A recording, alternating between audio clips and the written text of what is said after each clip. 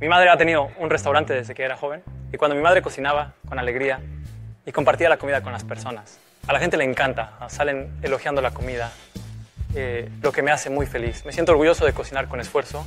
Alguien a quien se lo pasé mejoró su salud y encontró felicidad. El simple hecho de ser feliz me alegra el corazón y me calienta el alma. Mi nombre es Jin Kim y soy el chef Tataka en Han. El cabrito es conocido como un alimento de recuperación, muy consumido por nuestras generaciones anteriores. Es especialmente popular cuando se necesita recuperar fuerzas o energía. Comer esto es ideal para quienes se están recuperando de lesiones, ya que es un alimento que ayuda a generar calor en el cuerpo, promoviendo una recuperación rápida y saludable. La sopa de brotes de soja es un plato que siempre tengo en el desayuno.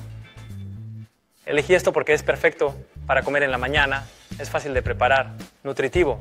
Generalmente los coreanos se consideran buenos para curar la resaca. Y en mi caso, van a usar un peinado de voleibol es perfecto para, para la resaca.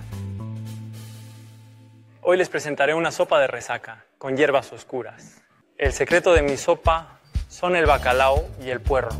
Solo tienes que poner los brotes de soja y añadir agua al 32. Luego cierra la tapa. En casa hierva durante unos 6 a 7 minutos. Luego use pasta de camarones para el caldo de brotes de soja, que sabe mejor. Agregue una cantidad adecuada. Añada ajo y hiérvalo. Voltee ligeramente los brotes de soja y añada un huevo. También va a llevar cebolla verde. Espolvorea una cantidad adecuada de chile en polvo. Y por último, semillas de sésamo para terminar el plato.